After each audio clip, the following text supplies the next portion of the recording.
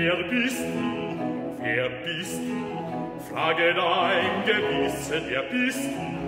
Frage dein Gewissen, da wirst du Sonderheuchelei obtun. O um Mensch, falsch oder treu, falsch oder treu, dein rechtes Urteil will selber müssen dein rechtes Urteil, dein rechtes Urteil hören müssen.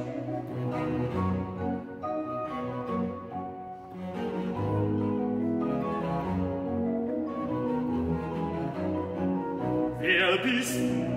Wer bist du? Frage das Gesetz, wer bist du? sage das Gesetz, das wird dir sagen, wer du bist. Frage das Gesetz, das wird dir sagen, wer du bist. Das wird dir sagen, wer du bist. Das wird dir sagen, wer du bist. Das wird dir sagen, wer, wer du bist.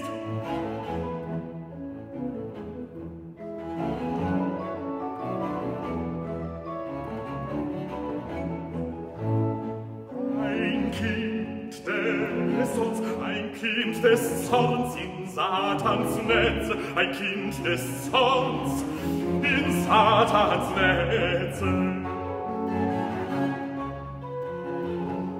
Ein Stahlstimmt,